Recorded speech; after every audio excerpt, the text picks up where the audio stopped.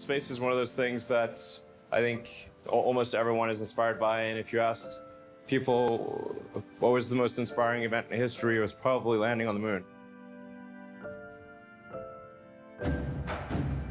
Elon Musk, the mind behind PayPal, America's first electric car company, the nation's biggest solar energy supplier, and now, commercial space travel pioneer.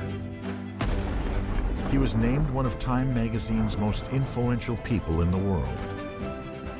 His sole mission has become ensuring the future of human existence.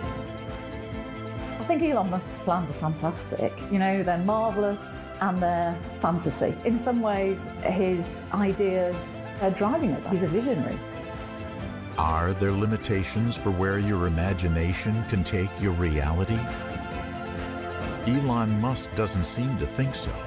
The biggest uh, thing that's happened in the last couple of years, which I'm really excited about and I think makes a difference for access to space, is the landing of the Falcon 9 rocket booster.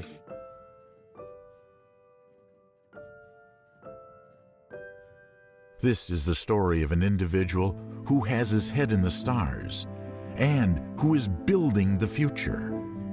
There's so many things that make people sad or depressed about the future, but I think becoming a spacefaring civilization is one of those things that makes you excited about the future.